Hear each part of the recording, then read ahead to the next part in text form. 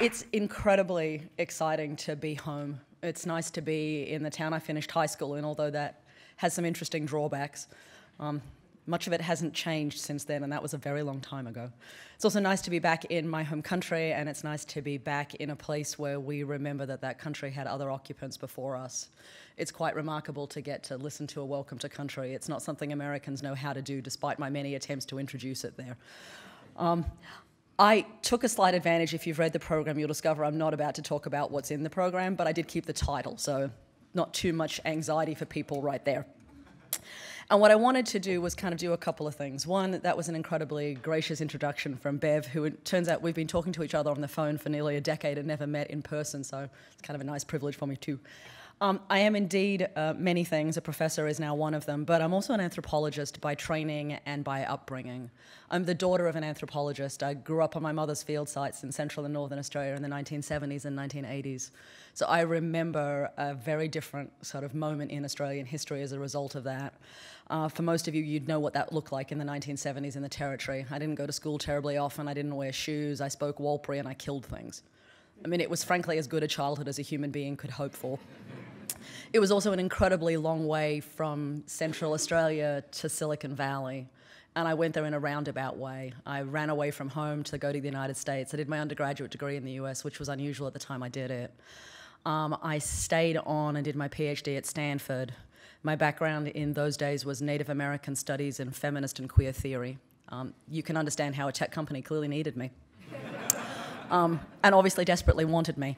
Um, and truthfully, I ended up at Intel in a way only an Australian can. I met a man in a bar in Palo Alto in 1998, and one thing led to another, and he gave me a job, and it was excellent. And I have spent the last 18 years in Silicon Valley trying to do the thing that I think is most important, which is put people into the business of making technology. It's one thing to talk about technology, it's one thing to talk about what it is that technology does, but if it's not doing it for things we care about, I often worry that might not be the best use of all of our collective energy, creativity, and intelligence. And so my job at Intel for 18 years has been to think about how do you use what it is that people care about, what they're passionate about, what frustrates them, and what they want for themselves, their kids, their communities, and even their countries. And how do you use those as a starting point for developing new technology? Not just solving a hard technical problem, but solving the right technical problems. And it turns out that requires a bit of work, and it requires being stubborn, it requires being very Australian in a lot of meetings.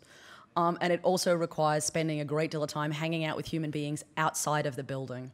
Because respectfully, I will tell you that while venture capital is one way of thinking about what's really going on, what people are actually doing is often a better proxy. Um, where the money is spent doesn't always tell you what the future will be. It frequently just tells you where the money's being spent. and I want to be mindful of the fact that you actually can tell a lot about what the future will look like by what people are doing today. Because despite the logic of Silicon Valley and the stories we tell ourselves, what it is that we care about as human beings changes very slowly. Technology moves very quickly, but the tasks we're trying to get done, the things we hope to get done, and our pain points tend to endure far longer than most of us would expect. And so, if you know what people are doing, you can often anticipate where the future is going. And in the context of talking about digital transformation, I thought that was a useful sort of starting point.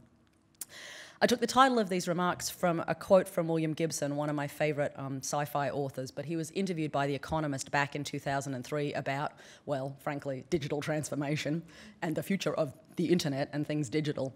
And he was being asked to make a series of predictions about the future. And to his credit, he said, Listen, the future's already here. It's just that it's not very evenly distributed. By which he meant you could find the future in the present if you went looking for it. And so I went looking back on my hard drives because I'm in the process of changing jobs. I suddenly have a lot of digital stuff around me. And I went back looking for a photo that I had from 2003 because I wanted to see what I knew in 2003 that might have been an interesting proxy. This photo was taken on a train platform in Tokyo about the same time this article came out in The Economist. What's interesting about this photo is that this could be a train platform today if it had different phones. I mean, flip phones have made a comeback in Japan, but it took a while and they've only made it come back as a kind of nostalgia object. But if you imagine that people were no longer playing, well, in fact, at this point, they were doing location based services in Tokyo and they were playing games and they were doing location based online dating and playing a version of the Nokia Snake game we would all recognize. If you just substitute that out for apps, you're effectively looking at a view of the world we would recognize, and that's 14 years ago. So the reality is, if you go looking, people are already doing some of the things we imagine are in the future. And what I wanted to spend the next 20 minutes doing was reflecting on some of those things. I've been lucky enough to spend my time in homes all over the world for the last 18 years, and I've seen bits of the future because I've seen bits of the present. And some of that future is entirely wrapped around all of the technologies you rattled off here about AI and cognitive compute and algorithms and big data and the Internet of Things and sensing technologies. Well, some of those exist only in labs. There are early instantiations of them, and you can start to see how people feel about them and how they use them, and what some of the challenges are we need to navigate as citizens, as consumers, as regulators, and as builders, because all of those things come into effect. And it certainly strikes me as I go through all of those, and there's about 10 I want to kind of highlight here. There are actually some really fierce problems that we need to solve that haven't been solved, that we keep kind of kicking down the road and going, well, that's just going to get taken care of. And it turns out it doesn't. And then there are some really stubborn opportunities that are not dissimilar. Things that haven't been solved, problems that need to be addressed, places where we think the technology might do something, but we don't always. So, what does all of that mean? Well, let me give you 10 really clear examples. The first one is really straightforward and has to do with, if the slide will advance here, maybe it will, maybe it won't, has to do with the notion of connectivity and networking. And has to do with the fact that one of the ways we often talk about the future is by talking about Silicon Valley as though that were everything. And the reality is, most people are not going to live in Silicon Valley. They're not going to experience what there is in Silicon Valley. They're living in places where, in fact, there are a myriad of different kinds of pragmatic and deeply practical challenges that have to do with things like they don't know what Uber is because they're using public transport. They're not interested in Airbnb because they're not going on vacation.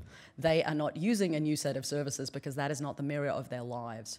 And so, one of the challenges we frequently have is that we take Silicon Valley as though it were an early adopter, as opposed to suggesting it is actually an outlier. Not everything that happened in Silicon Valley became things we cared about. Um, I can list off a whole series of things, perhaps I should. Friendster, Napster, PDAs, the Newton. More recently, I can think of a whole series of others. I'm old enough to also remember things like AltaVista, Yahoo, possibly a few other companies, we know them, right? And technologies too. And one of the things, had you sat in Silicon Valley, and I was in on many of the meetings where those technologies were discussed, you might have thought they were going to be everything. In fact, we thought they were. Do you remember Second Life?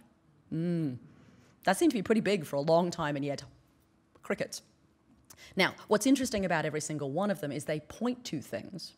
They are indexical of something that might yet come, but they aren't necessarily the object itself. Friendster made it clear that social networking technologies might be a big thing. Facebook worked out how to capitalize on it. You know, Uber may have been the first mover in cars, but frankly, if you look at some of the challenges they are now having with their ride sharing, profit pool activity as well as their leadership class, you might wonder that Lyft may be the name we remember years to come. So there's something here that says just because it's the thing everyone's talking about doesn't necessarily mean it is what will come to pass. And there is a reason to be skeptical about some of those things. And then just to collect the t shirts that have the brands on them because you'll have an excellent library of them when you are done. It's also the case that one of the things that I hear a great deal from consumers when I'm traveling with them is that life used to be simple. I have always loved this photo and the fact that this sign is still there. It's a sign I first encountered 12 years ago doing fieldwork in South Australia, and I saw it again at Christmas, and I thought I should photograph this sign again because somehow the notion that the internet is a destination is perversely comforting. Um, it used to be the case when you talked to consumers that one of the things they said was it was relatively straightforward. I had the internet, and the internet came with basically a service provider, and they had my email, and that was great, and that's all I needed to know. When you talk to people now, they will tell you they have possibly one network for their phones, they have a different network for their home, their television may be delivered by a third, there may be a service provider who's giving the content but also the network, they may be different service providers. They may have an email provisioner somewhere here as well as a personal email provisioner, there may be one at work. They may have multiple services that they are now either subscribed to, paying for, about whom people know, and usually the question is, I don't know when, who to call when it stops working. And some of those places are fairly hard to call. Mm. I brought my Amazon Alexa home with me. She does not like ADSL2, it turns out. Neither, as it turns out, do I. Um, uh, but it turns out, you know, it's fairly hard to call the nice people at Amazon and go, hey, am I having a latency problem or is there something else intrinsic wrong with the fact that I'm now located with a Guam network to get my Echo to work, you know, in my house? Um, the problem here for consumers is they used to have one person to call and the call was relatively straightforward.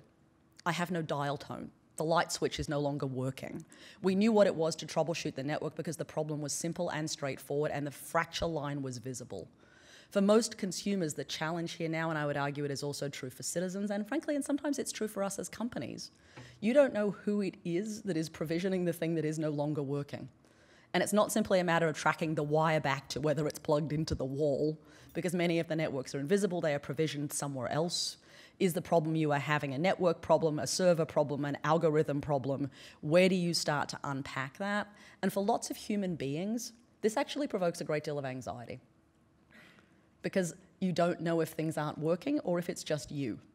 And the number of times I've spent with people going, Well, I don't know if it's just me. then you go, No, that network's out. or the reality that the networks are, much like the future, also unevenly distributed. Twitter may be working just fine here and be down in Turkey. And how you start to think about those things becomes intensely complicated. It's also the case that one of the things we frequently hear from people when we spend time with them is this interesting paradox which is that for engineers, one of the solutions to all of that fragmentation would be to have it seamlessly connected, would be to put everything into one place so that you could find all of it. And certainly it was the case when we were first building out smart home proof concepts in my labs.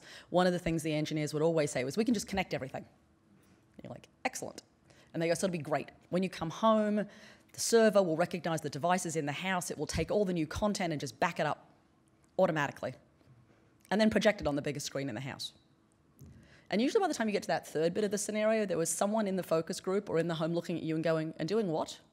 You're going to project everything where? And usually that's the teenagers who suddenly realize that the content of their phone is now being backed up on their family's server and their parents may well know what's on their phones. Irregardless of how well you think you know your children and, in fact, your partners and your parents, there are things you do not want to know about them. And you do not want it backed up on the network uh, for all sorts of reasons. But the reality here is that it's not just about the content we don't want other people to know, it's about all kinds of other things. In order for there to be 32 million phones in Australia and only 24 million citizens, that means some of us have more than one phone. There are reasons why we have more than one phone that have to do with access, that have to do with arrangements we have with companies, that have to do with the idea we want to limit access to ourselves. How many people in the room here only have one email address? Oh, bless. well, that's lovely. I need to talk to you afterwards too. Um, because it turns out most of us don't just have one email address. And in fact, most of us don't just have one active email address. We have multiple active email addresses. And while that may cause problems and you wish you could have a single view of them, there are reasons why we choose to segment pieces of our lives. And we always have. The challenge here when you suggest seamlessly connecting all technology is that human beings actually operate in a seamful world, not a seamless world. And so, what it means to start to think about the notion that certain sets of data, certain sets of devices, certain algorithms may not want to touch other devices and data and algorithms is actually one of the ways humans have organized their lives. We also now see governments enacting not dissimilar kinds of challenges. Think about the EU's notion of the right to be forgotten and about what that means about the movement of data. Some data is not going anywhere. It is not seamlessly connecting to other data sets. It is sitting quite stubbornly in one particular place. So the distinction here between seamlessness as an engineering solution and seamfulness as a human practice is an interesting challenge to think about how we navigate. It's also the case that all of these new devices and services and apps have a security challenge called passwords. Now, it is certainly the case, according to the last study we commissioned and every study I have seen, that the most popular password in the English speaking world is password. The second most popular password in the English speaking world is 123456789. These are not good passwords. These are, however, very popular passwords. Now, if you are like me, and indeed most Australians, you have somewhere between 17 to 20 active passwords, according to the most recent studies. That's a lot of them. Um, unless you have some algorithm by which you generate the passwords, Every service you subscribe to requires a different kind of nature of a hard password. Some can be letters, some have to be capitalized, some need an alphanumeric, some need a number. It's not a good look. And the way most human beings manage it is by doing something profoundly unsafe, writing it down. Mm. Um, or better yet, my favorite one still to this day, saving it on your hard drive in a folder marked passwords. With the password being password, naturally. Um, so as we spend time with people, I started asking people how they were solving the password problem. This was probably my favorite example. This was someone who was accessing the cameras in his smart home to see if his gardener was gardening the agapanthus, as you do. We were in America at the time. Um, and in order to find the password to the network, he had a book with all the passwords in it. But because all the things required new passwords, the passwords weren't all on the this. Everyone gets crossed out, new things get written. This is in a book called Passwords in his um, briefcase. And I said, Well, that's interesting. Do you have any problems with that system? And he said, Yeah. And I said, What's the problem with that system? He said, Well, it doesn't scale. And I thought, Yes. And then I realized I probably should ask what he meant by not scaling, because my vision of not scaling and his might have been different. And indeed they were. He said, Well, it's with me at the moment, and my kids can't get onto the Netflix account back in Australia. And so they're calling me to ask me what the password is, and I have to find the book to tell them what the password is. And you're like, Yeah, okay. Which immediately addresses a second problem here, right? Security people will tell you the biggest problem with security is human beings. We are the weakest link in the security chain. Turns out, however, there are, yeah, 7 billion of us being the weakest link in the security chain, and much as my security friends would like, you can't engineer us out of the system. And as human beings, we are prone to be, well, not so good about security. I'm willing to bet, in addition to writing down your passwords, you probably have a key to your house buried somewhere near your house, or someone else who isn't an occupant of your house has a key to your house. Much the same way someone who isn't you has passwords to your account. Now, it would be lovely if we all stopped doing that. The reality is there are many things that we share and that we share with people where the systems weren't designed for that to happen. And oh, by the way, try and imagine scaling this. So, how do we scale a culture of passwords to smart objects, smart systems, smart devices? Will your thermostat require a password? Just, will your autonomous vehicle require a password? Will it need to be changed every three months? Will you be able to share that with your children? Multiple challenges here about how that all looks like. And oh, by the way, security is real, so solving the problem is actually a good one, but suggesting that we're going to do it through multi factor authentication, which is the often one that says, right, well, we'll give you a password and then we'll check that it's you. Nicest way to do that is by proximity to your mobile phone. Um, if you've given your credit card to your partner, your administrative assistant, your child, they do not have your phone with them.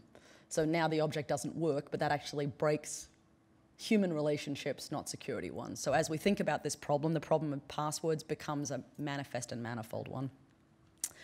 It's also the case that one of the things I routinely hear in visits with people is this kind of question about why is the system recommending that to me? So we talk about big data and recommendation engines and algorithms. Consumers encounter it through preferences. They encounter it through things being served up to them, which inevitably creates interesting senses of both anxiety and questioning. Why is it that Netflix thinks I should watch that show? What is it that they know about me that they imagine that I should? Why is it that Amazon keeps recommending that thing that I am never going to buy? Or more to the point, why do they recommend the thing that's just like the thing I just bought that's already going to last two more years? Consumers have lots of questions about an absence of transparency in these things, but also a lot of anxiety about what it looks like. And when you push them on it just a little bit further, one of the things I have heard from people in some households is this really interesting ambivalence about the notion of their choices being conscribed by their past. So that what you liked historically is all you get in the future. Many of us in this room, I'm willing to bet, have liked television shows and not wanted to see more shows like it. And secretly hoped there would be different shows than the one that we have now watched a great deal of. Content is generated on the basis of prior activity because data sets are retrospective, not prospective.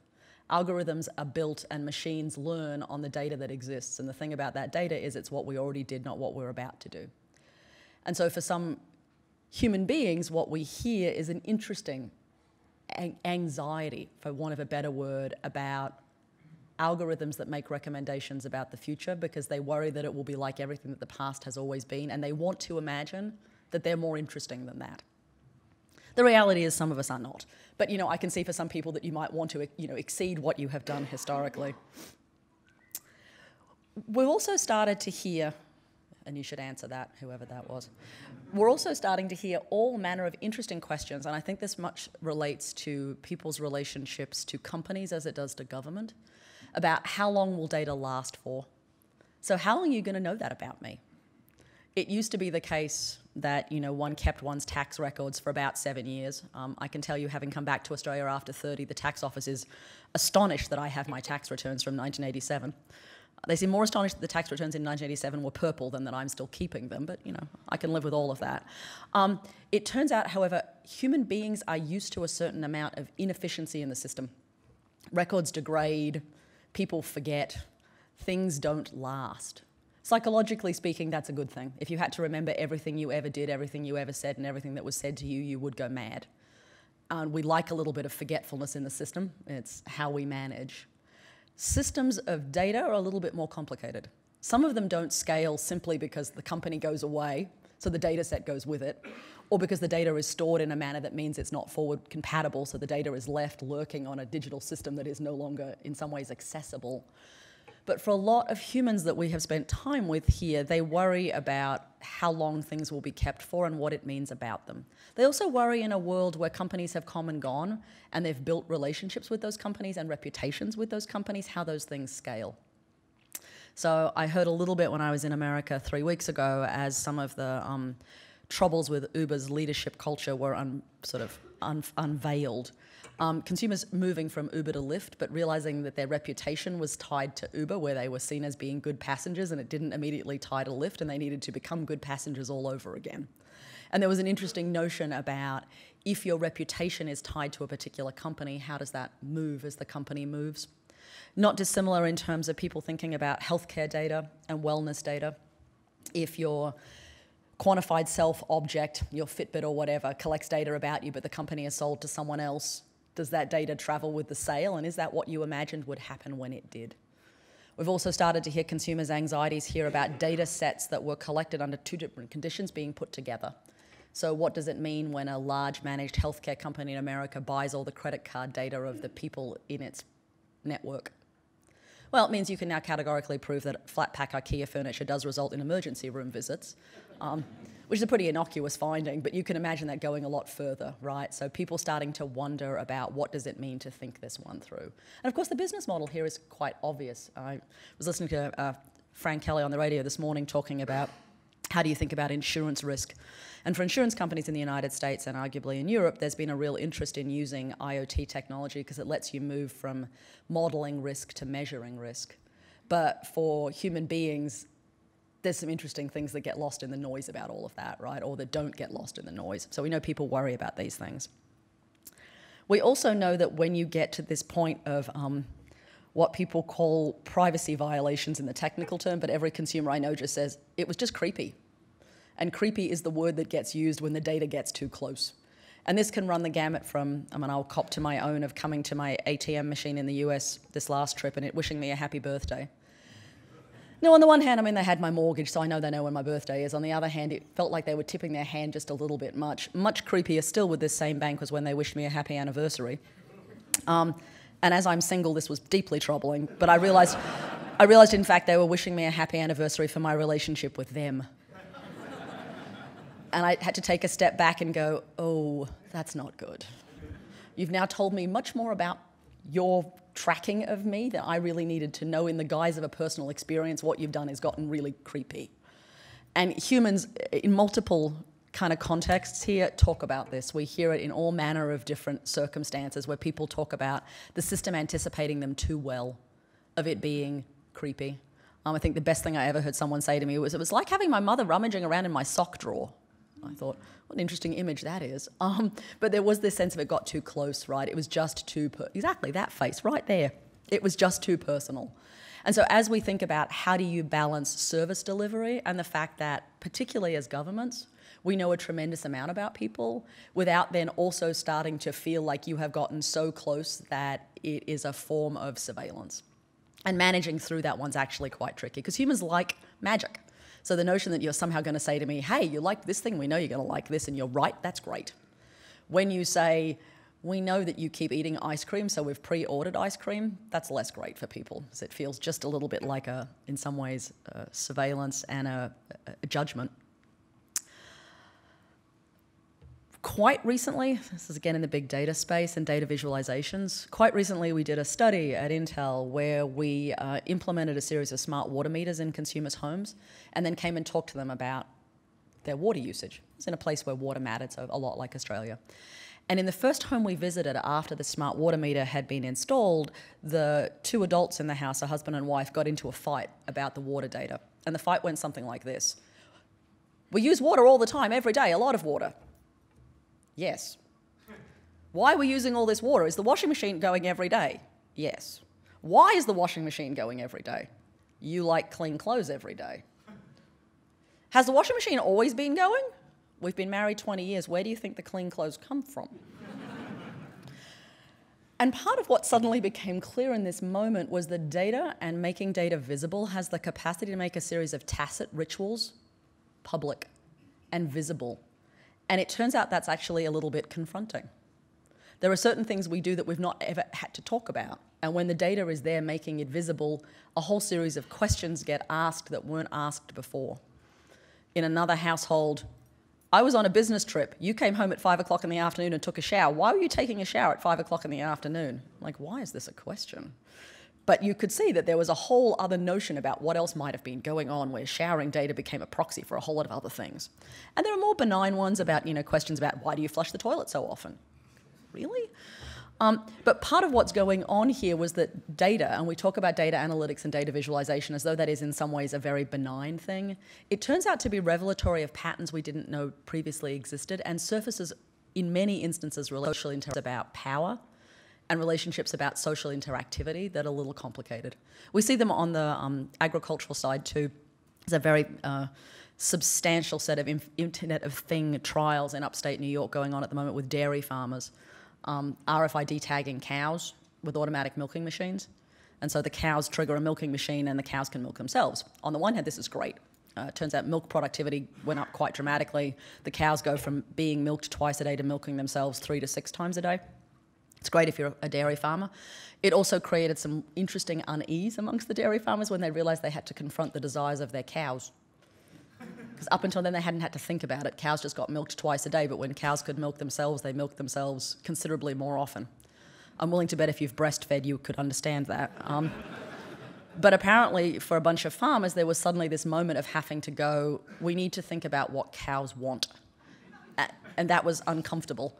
Um, scale that up and imagine what data might tell us about what things want that we haven't thought about. And the flip side of that is true too, right, as it sort of moves along one more, there is an interesting piece there about what that means in terms of, and maybe the slide will advance one more. Thank you, my good friend up there.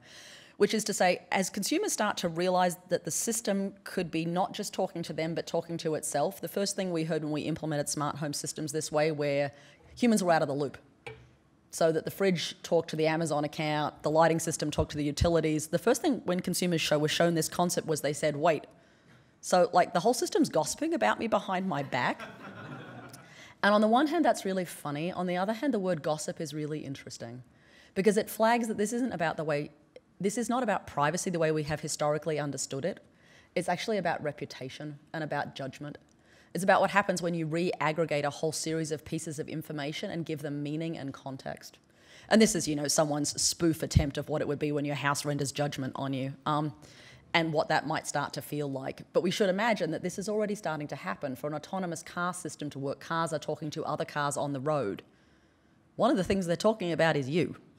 And how we start to feel about those assessments is also part of how people feel about and think about managing through all of this. And then, of course, it is hard to think about all of the new technologies and digital transformations without also being acutely aware that it happens against one more different backdrop. There's the backdrop of the networks and the built infrastructure in the physical world. There's the backdrop of our activities and our pain points and our usages. There's also the backdrop that all of this transformation happens against a landscape of the socio technical, so of our imaginations. We've been told how this technology would work for decades before it arrived. We were told by Hollywood. If you were lucky, you were told by the BBC because that at least suggested it wasn't going to work as well. Um, you know, for those of us who grew up in Australia, growing up with Doctor Who and Blake Seven were probably a real blessing. Um, they set us up for a digital world in a way that growing up with Star Trek really didn't. Um, we understand that not everything works the way it's supposed to and never comes with an owner's manual and is frequently used. Um, that's not always the case if you grew up with American science fiction where everything is shiny and new and works exactly as intended. Nonetheless, every piece of technology in our world we've seen an image of somewhere before, we've read about it before, we've been told a scenario of it before. There is a very strong case to be made that one of the challenges that we have had in getting voice recognition technologies to be adopted with humans is that we grew up with natural language speech processing from Star Trek, where at no point did the system in Star Trek say, I don't understand your accent, Scotty. It just went, yes, we can do that, and semantically. By the same token, gesture is a much more limited set of science fiction references, and it's been a little easier for us to imagine what it should feel like because we weren't being told what it would be. So every piece of technology that comes along has a backstory, and that backstory isn't just a technical one. It's a one that's been both dystopically and utopically portrayed in the books we read, in the television we saw, in the movies we saw. It litters our conversations. You can't talk about robots in even a technical forum without someone asking you about Skynet, which, you know, will go live and kill us all. Um, inevitably, when you talk about robots, someone does say to you, in all seriousness, when is the robot apocalypse? Like June.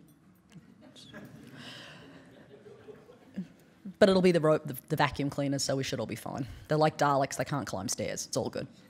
Um, but lurking underneath all of that is something you do actually have to attend to, which is that unsurprisingly, technology comes with a degree of anxiety, and that's not irrational. And it's not just about science fiction, it's also about our own histories. The deployment of multiple new technologies over the last 150 years have had remarkable unintended consequences, not all of which were delightful, many of which reproduced existing social inequities and values that we may not want to think about as being part of our countries, and yet we've reproduced them. Whether it's about algorithms that, uh, you know, I think of, can think of some camera processing algorithms that couldn't recognize black faces because they were only trained on white faces. Whether it's the first speech recognition algorithms that were trained only with male voices and literally could not hear women whether it was the SDK kit of a fairly large American tech company designed for health and wellness that did not include menstruation because, quote unquote, that's a niche usage. um, it is the case, yeah, uh huh. Yeah, okay, well, good, must, must be nice for you. Um, rest of us not niche over here.